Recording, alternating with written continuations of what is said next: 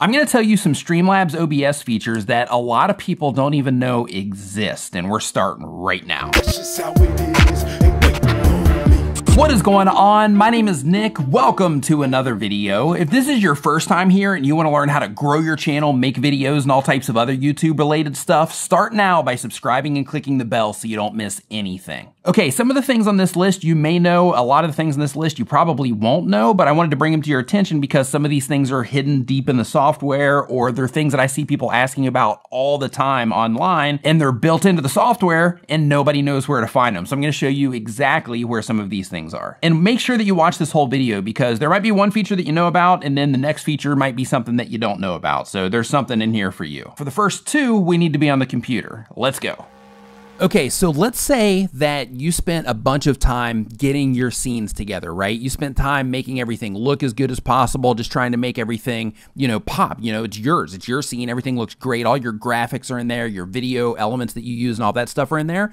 And then your computer dies what are you going to do, right? You completely freak out because, oh my gosh, I just lost all my graphics. I just lost all my settings that I, that it took me, you know, weeks to set up to get everything working perfectly? Well, inside of Streamlabs, they actually have, and it's automatic, they have it to where they're going to back up your media for you for free. And it doesn't matter how many gigabytes of video files and all that stuff you have, they're going to back everything up for you for free on their servers. Check this out. So you can see down here in the bottom of the screen where I have all of my scenes and all that stuff set up, right? So what I'm going to show you here, I'm going to take you behind the scenes here a little bit. I'm going to show you, if I load this into my laptop, let me show you what happens. So as you can see, it's already imported all of these graphics. I do not have any of these graphics on this computer. It's just pulled them down from their cloud. So if I click on this ending scene, for example, like this right here, this is an AVI file. This is an actual video file that was pulled down from their server. So their media backups make this possible to where if you go to a conference, if you go to a friend's house, if you get another computer and you just want to open up your Streamlabs on that new computer and just start streaming,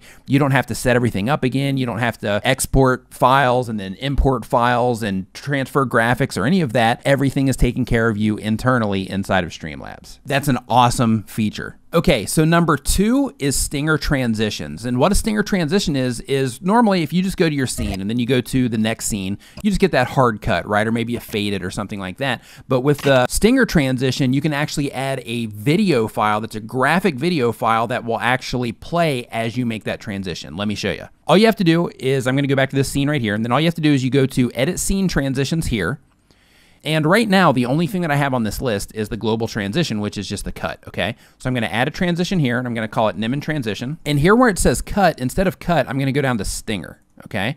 And then here I'm gonna go find my video file, and I'm gonna keep all of these other things here the same. Now what I can do is I'm going to click on this as the default, right? Because I want this as the default. Then I'm just gonna hit done. And then now, let's say that I want to go down to this split screen, okay? And I'm seeing this over here. It's my setup. And then over here, this is what the audience is seeing live, right?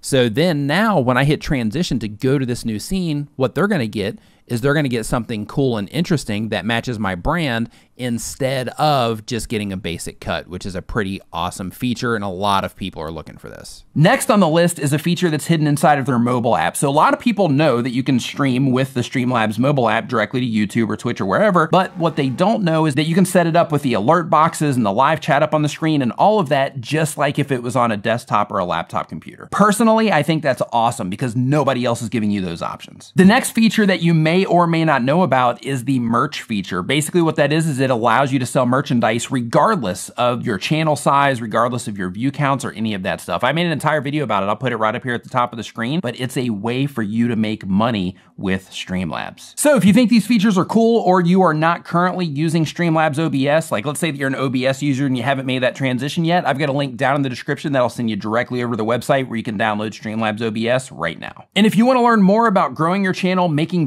videos, and all types of other YouTube related stuff, start now by hitting the round subscribe icon so you don't miss anything. Thank you so much for watching. I'll see you next time.